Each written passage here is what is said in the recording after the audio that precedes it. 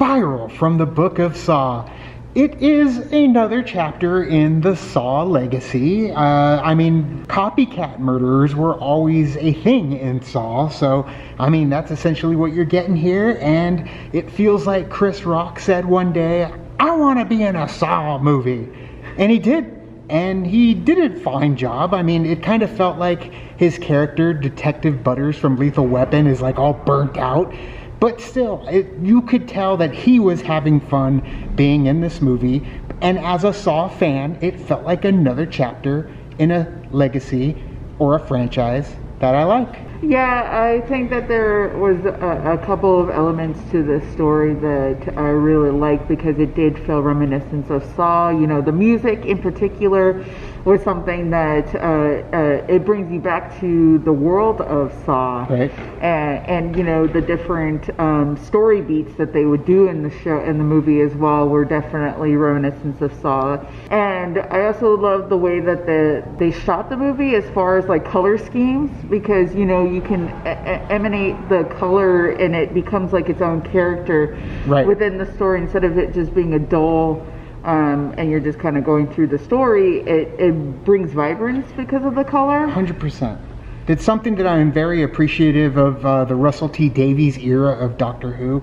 Production lighting and background lighting. Like, I'm a sucker for vibrant and mood setting atmosphere, and they really do a good job with Spiral to where I actually stepped out of the movie for a moment and appreciated it because it was something that I thought added a little bit of. Uh, uh, character to the movie in itself. Now, like I said, because we are fans of Saw, pretty well versed when it comes to, like you said, those story beats of Saw. Therefore, incredibly predictable. Very predictable. Had it figured out almost immediately. Yeah. But the journey there, I think, is obviously what you're looking towards. Right. It's those traps. They don't hold back on the gore. They don't hold back on those traps.